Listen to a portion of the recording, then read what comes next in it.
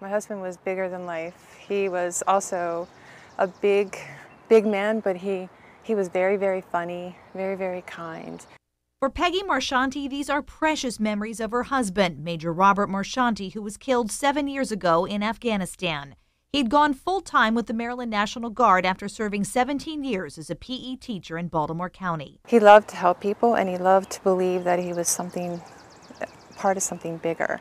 Major Marchanti was working as a mentor to Afghan police when he was killed during an attack inside the Interior Ministry in Kabul. It was the end of the day. He was told to go home, and he didn't. He went in to do one last thing.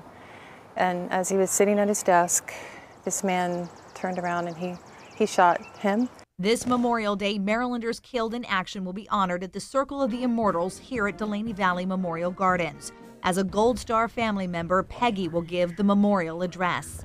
I heard the, um, the saying recently, a soldier dies twice when his name is not spoken.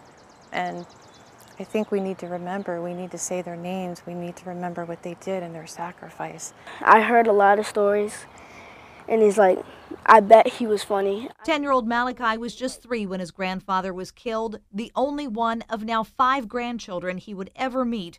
It is bravery not lost on this fourth grader. I think the way he died was actually good because he was defending our country and trying to help us. These are some of the best people this country will ever produce, and we got to keep remembering them. This is the 52nd year for the ceremony. It starts at 10 o'clock on Monday. Jennifer Franciotti, WBAL TV 11 News.